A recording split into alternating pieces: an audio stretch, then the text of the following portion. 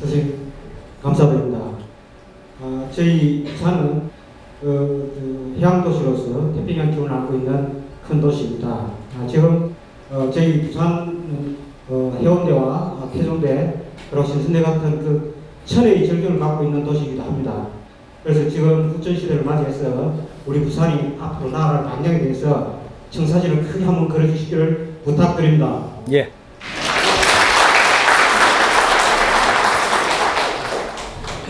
부산은 청사진 그릴 필요가 없는 데입니다.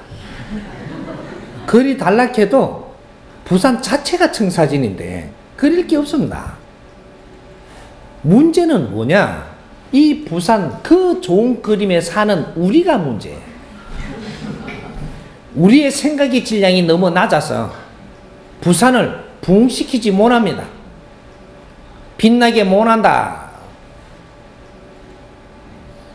이 부산 시민들이 잘 살게 하고 이 부산이 빛나게 하려면 우리 수준 올려야 됩니다. 그래서 지금 정법을 주위에 빨리 전달하라는 겁니다. 이거 우리 식구들 부산에 지금 우리 정법 가족들이 솔선수범해서 노력을 조금만 한다면 2, 3년 안에 부산은 180도로 달라집니다. 정법 가족들이 엄청나게 많아지고 이 강의를 우리가 같이 들으면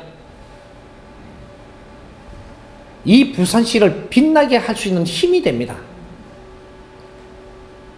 지금부터 시작해야 됩니다. 이 부산은 국제의 도시가 돼야 됩니다.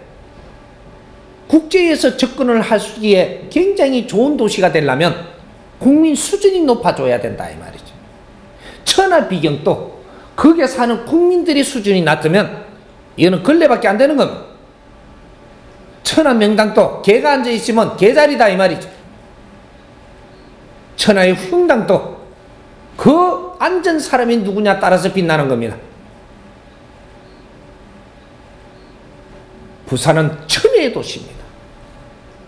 인류에서 기운도 최고로 물고 있는 엄청난 도시입니다.